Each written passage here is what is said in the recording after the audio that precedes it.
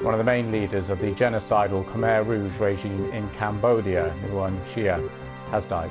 He was 93.